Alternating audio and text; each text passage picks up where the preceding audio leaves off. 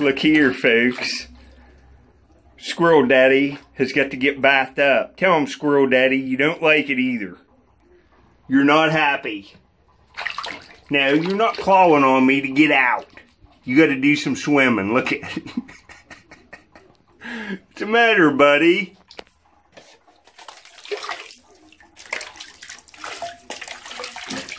Look here, folks.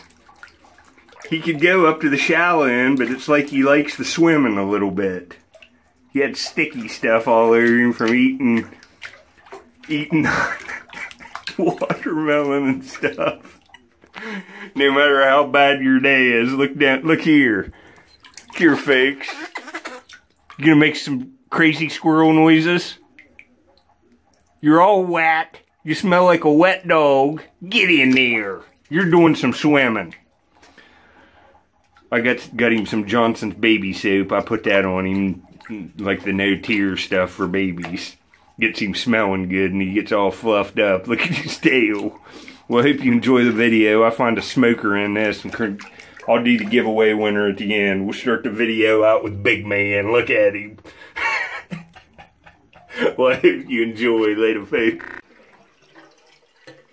Well, here he is after the bathtub. He's all cooled off. He's in his towel. Look at him. Tell him, Squirrel Man, you like the bath. Gets you all cooled off and clean. Now you're going to go relax in your house and have some strawberries. Look at this good boy, folks. What a good boy. Later. Alright, I'm on a different stretch of river now than I have been on. I look, you know, to find as many things as I do. Like the place that I was just on is beat up. I could go there and dig on that Mississippian site all day and hope for one point. I've sifted everything over a seven day period. Go try this area. There's sites on every stretch of the river between every stretch of dam. You just gotta look. You gotta spend a lot of time out here. I'll get back if I see anything. But, uh, hey, looks like several hibiscus. Look at that. Big white one there. Man, these things are all over the river. They're growing everywhere this year. Here's one right here. It's the bloom's kind of wilted, but there's new buds there all over it. And look at this one up here, man. This is beautiful. Got red. Look at how beautiful that flower is. Man, look at them. Those are beauties. Man, get to see so much cool stuff. This is awesome being able to do this. Sure beats going to work. In here, I can barely paddle through them there's bass just laying in these. When I'm going through them, you can just see big bass, the whirls going. But there's some stuff right in here. But it doesn't mean I'm going to find anything. It's looking pretty rough. I will get back to seeing. I'm not even going to be able to sift on this spot. There's a midden in here. But there's, look at all the wood and stuff. I'll have to wait till the next high water and some of this comes out. That's a pretty nice plank here. It's treated lumber I should take that, but I got too long to paddle. I'll go further down. I think further down here I'll be able to get on something. It won't be like this. Get down try it. I haven't been on this place for a while and I saw fire rock laying right in front of this log and it's a nice layer. I'm gonna dig here. I got just a month maker in my screen. This is the first basket out of this place. See the fire rock bleeding out? Oh, folks, you're just not even gonna believe this. I was ready to come here do you see this point? Oh, folks. Oh, my goodness. Whoo. I about had a heart attack. I bet you can see it from here. It's big. Oh, folks. This is kind of a famous archaeological site within a mile of me, too. Oh, folks, look. Oh, yes. Oh, folks, look at this killer. Oh, folks, this is awesome. I was finding pentagonals in here that, oh, folks. What a scorcher. Look at this. Oh, I've been on a roll.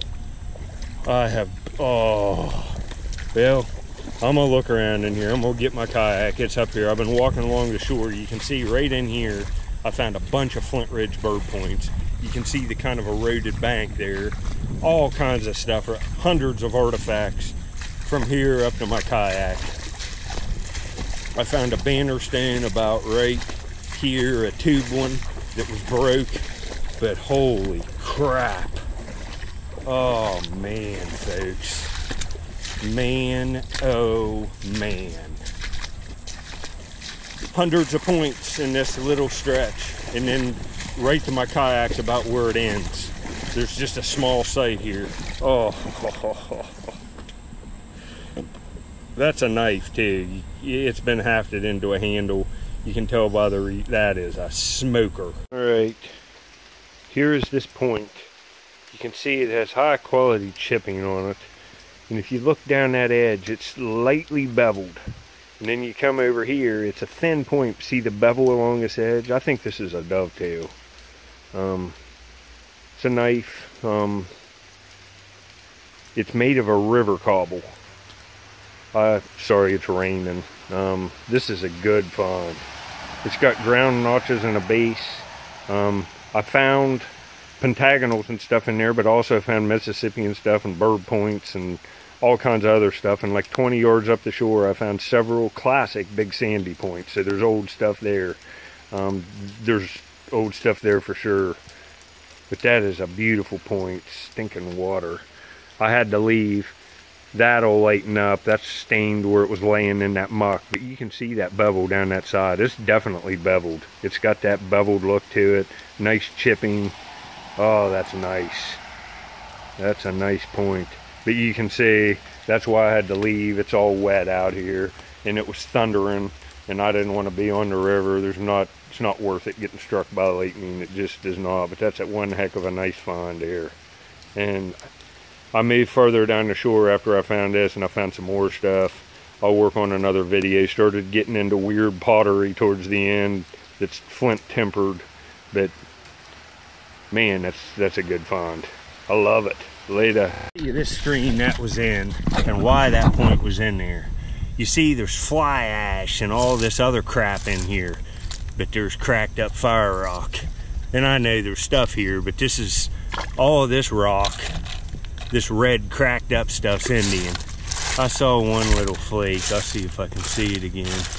And that point.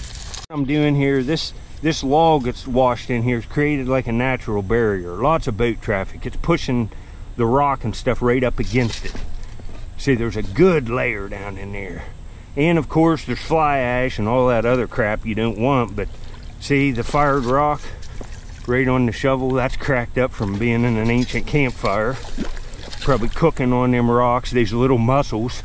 Could lay them all on a bed of hot coals or rocks. Let's see if there's flakes or an artifact in here. This is all I'm doing.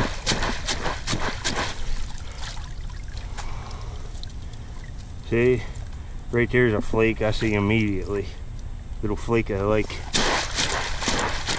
brown chert. Uh, man, I can't believe I got that first basket in here. Yeah, there's a flake of real high quality stuff right here. And another flake of black. Look at that high quality translucent finishing flake and a flake of black or black Kanawha chert. Man, I cannot believe it. That made my week. That made my week, folks. Well, I'll get back. I'm going to do some in here. Any artifacts I see, I will get back to you. You see what I'm doing. This is all I'm doing. Anybody can do it. I'm nothing special. I mean it. All you have to do is be able to sift, and you're going to find all kinds of stuff. Right there's another finishing flake. Later.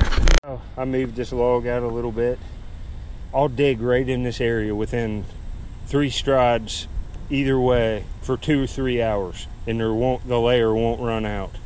But you see the shore, no one could ever surface hunt this, ever.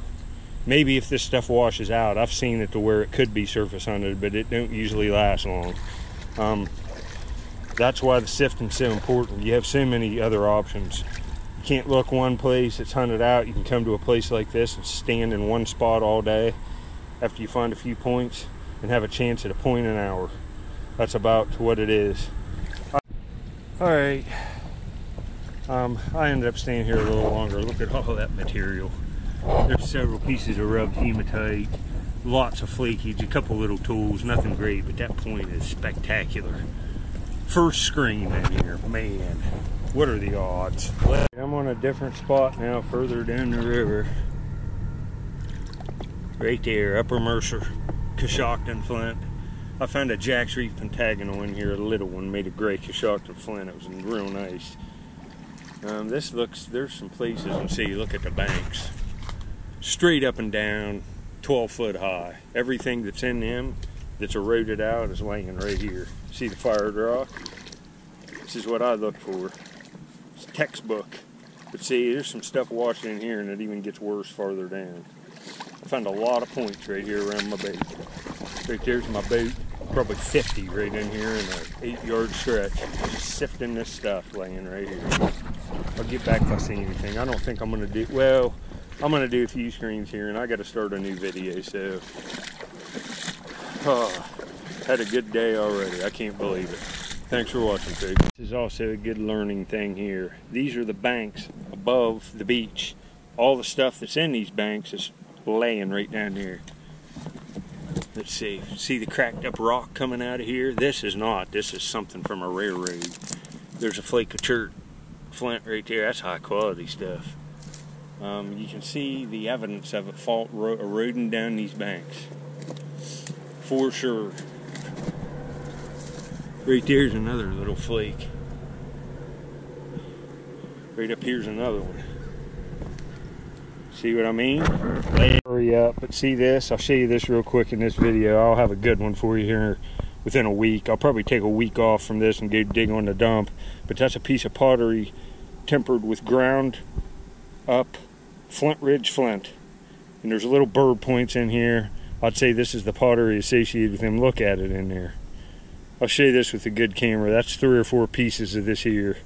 There's a bunch of stuff here in the water, a bunch. Alright, here's some of this pottery I was finding. I moved way down the shore from where I found that real smoker point.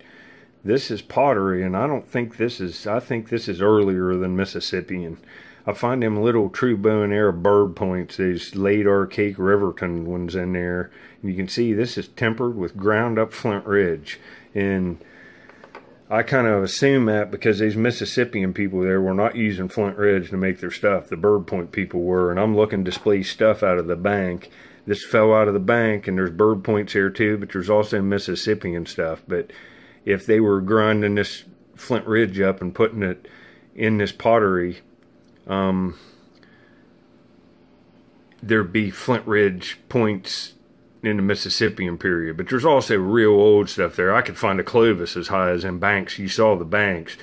Whatever was there for thousands of years in that layer of time is laying right on that beach. And it's kind of like putting together an ancient jigsaw puzzle, figuring out what goes to what. This could be Mississippian pottery here. See all this stuff that's leached away, these holes is where it was shell tempered. Um, I don't see any, and that's a piece of shell there. I looked at it under a microscope. This could be a completely different cultural period pottery found feet apart, but laying there out of that cut bank. You have to take that into consideration. Um, that point was a shocker today. First screen of the day. Man, hope you enjoyed this one. I enjoyed the day out on the river. I'm on my next video. I thought I'd give you a clip of this. Man, I'm getting hammered by these horse flies. This one just bit me three times before I finally landed on my hip waders and I smashed him. I'm gonna have to get out of here. It's gonna start raining, but I got another video. Well, I got another video. Um, I'll show you some of the stuff. This is a Jack's Reef area with bird points. I'm pulling out all kinds of pieces of pottery and stuff. I'll have another video on. I think that point I found is a dovetail. The more I look at it, it I think it's a dove. That's a good find. All right. Um, we're gonna do the giveaway. I have so many clips backed up that I'm gonna I'm gonna do another giveaway for a metal detector, but it's gonna have to be in the next video. I'll have too much in this one. And Squirrel Man's gonna get a bath here, so that'll be in here too.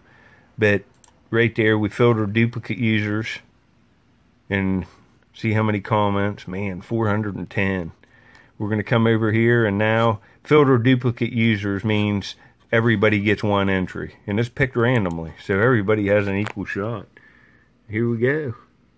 Dennis, Dennis G's. De decent hammerstone and nutting stone, cool. Those breaks are sickening, man. And all your viewers appreciate all you do to bring us your good videos. It's so enjoyable to watch them and listen to your commentary on what you find about the peoples who were here so very long ago. Um, I'll read uh, the rest of that. Um, Dennis, I want to get through this so we can do, but man, buddy, you won. You won, buddy. I know you comment a bunch and you're going to get a whole meat, large flat rate box full of stuff, buddy. And we'll do another giveaway here and not this video, but the next one. So I can really focus in. I found some nice stuff with a metal detector, so we'll do that next video. I don't want to include it because there's such a fine arrowhead in this one. But Dennis, congratulations, buddy. I'm so happy you won. Um, I'll get your, I think I got your address, but I'll see, and I'll get this stuff shipped out tomorrow morning. Um, later, buddy.